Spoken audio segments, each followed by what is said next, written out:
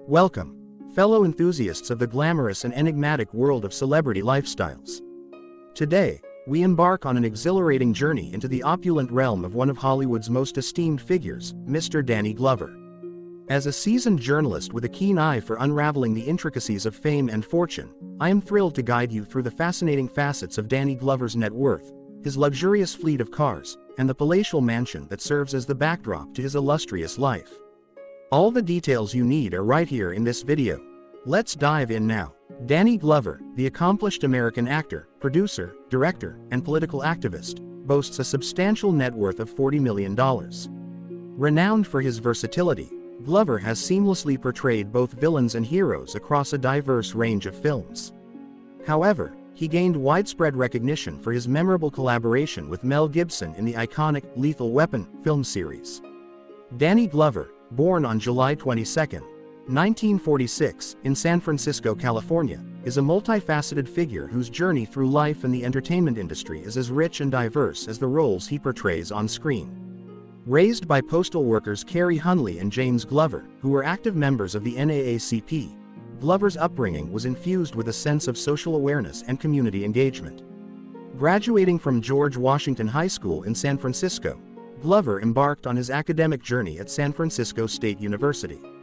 Although he did not complete his degree, remarkably, the university later acknowledged his contributions by awarding him the prestigious Presidential Medal. Glover's entrance into the world of theater was marked by his association with the American Conservatory Theater, a regional training program in San Francisco.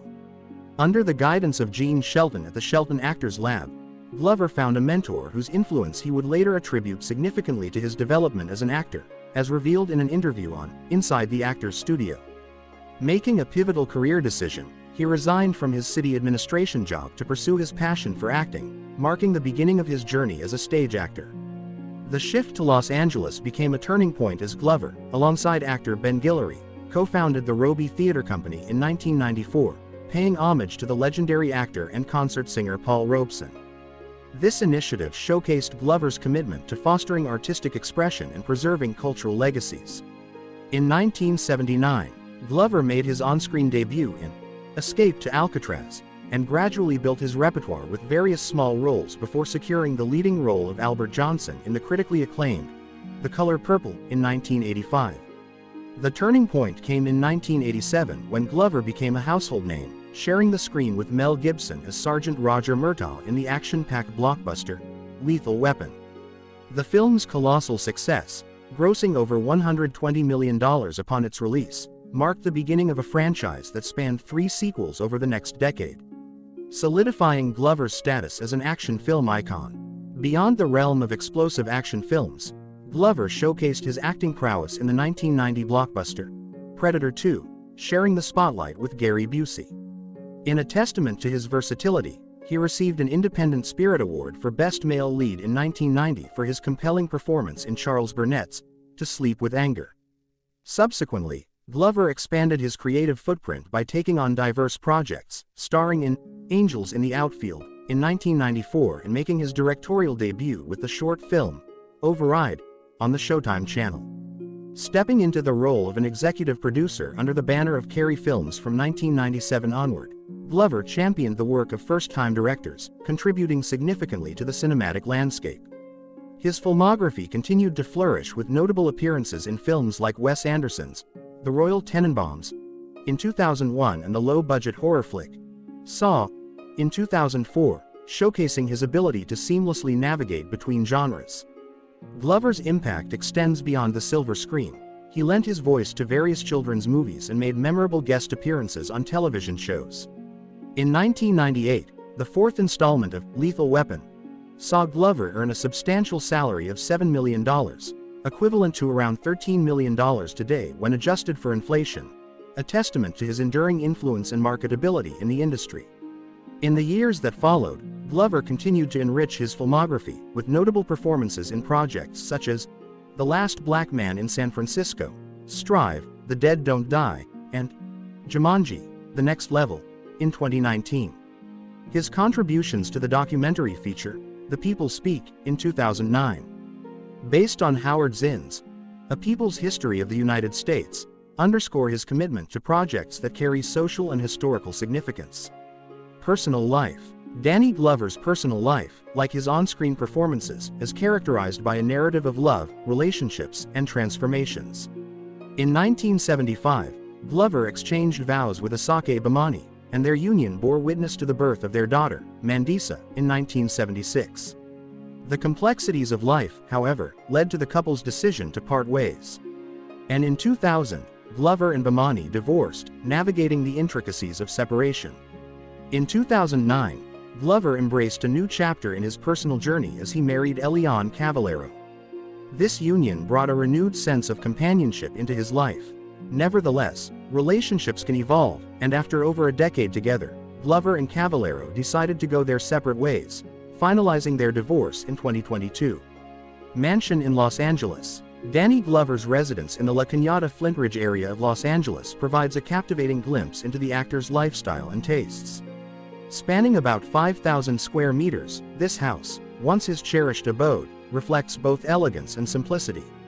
The interior of the residence boasts four bedrooms, five bathrooms, and three kitchens, portraying a sense of functionality and comfort. A closer look at the living room reveals a nostalgic design, featuring antique decorations and furniture that hint at Glover's penchant for a more uncomplicated way of life. Stepping outside, the beauty of the villa unfolds. Glover's personal touch is evident in the meticulous care of the surrounding trees, creating a harmonious connection with nature. The addition of a semicircular swimming pool adds to the allure, offering a balanced and visually appealing exterior. However, the story takes an interesting turn as Glover decided to part ways with this classic residence, selling it for a noteworthy $4 million. Current housing. The more recent addition to his property portfolio is a modern house, acquired in 2018 for a substantial sum of $4,200,000. Spread across approximately 6,000 square meters, this dwelling reflects a convergence of contemporary luxury and Glover's personal tastes. This contemporary haven boasts five bedrooms, six bathrooms, and three kitchens, epitomizing both opulence and practicality. Stepping inside, one is greeted by an array of wooden furniture, complemented by bookcases and an impressive collection of antique paintings, providing a glimpse into Glover's appreciation for artistry and timeless elegance. The kitchen, a focal point of this modern abode, stands out with its diverse designs. Suggesting a space where Glover may often indulge in home-cooked meals, given its gleaming appearance. Venturing beyond the confines of the residence, the grounds of this expansive villa unfold to reveal a wealth of amenities. Horse stables, a tennis court, and a swimming pool grace the exterior landscape, creating an ambiance of leisure and luxury. Rows of majestic green trees complete the scene, showcasing Glover's commitment to maintaining a harmonious connection with nature. Charity. Beyond the glitz and glamour of Hollywood, Danny Glover emerges as not just a remarkable talent but also a dedicated advocate for social causes, earning respect for his extensive philanthropy and community service. His commitment extends to championing economic justice and promoting accessibility to education and healthcare programs, both in the United States and Africa. Glover's involvement with humanitarian efforts took a significant turn in 1998 when he was appointed as an ambassador for the United Nations Development Program. This prestigious role reflects his dedication to addressing global challenges and fostering positive change on an international scale. On the home front, Glover is an integral part of the board of directors of the Black AIDS Institute, highlighting his involvement in initiatives that tackle critical health issues within marginalized communities. His support spans a diverse range of charities and foundations, showcasing the breadth of causes close to his heart. Among the notable organizations he has supported are Artists for a New South Africa.